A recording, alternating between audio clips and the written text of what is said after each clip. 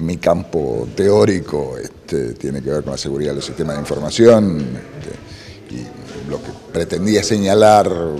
tiene que ver con cuáles son los límites teóricos posibles a cualquier sistema de intermediación que se use para votar.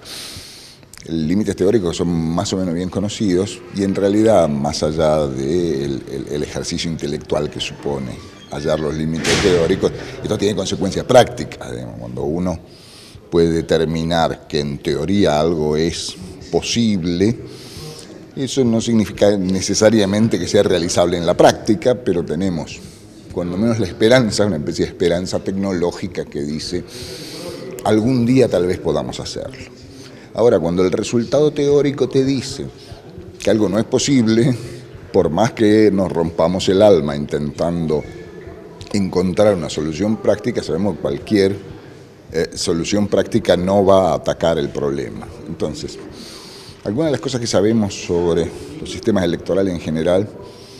nos dicen, por ejemplo, que es imposible garantizar al mismo tiempo la integridad del sistema de votación, la confidencialidad del proceso, es decir, lo que en términos más técnicos llamamos este, la disociación irreversible entre el votante y su voto y la auditabilidad de todo el proceso. Eh,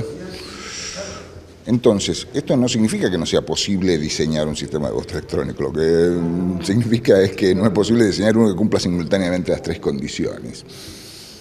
Ahí es donde entra la faz política, es decir, decidir si hay alguna de estas condiciones fundamentales que querramos sacrificar, y si lo decidimos como sociedad, bien. Hay dos cantones suizos que hace 600 años votan levantando la mano, no existe el, secreto, y es posible porque así lo decidieron los ciudadanos de esos cantones, pero en todo caso no, sabemos que existe ese límite teórico. Existen otros límites teóricos que tienen que ver con la seguridad de los sistemas de información, como eh, la existencia de una condición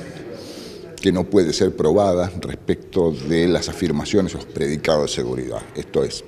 yo puedo decir que en cualquier sistema, sea de voto o de cualquier otra cosa, una condición de seguridad es necesaria, pero nunca puedo probar que es suficiente. Es decir,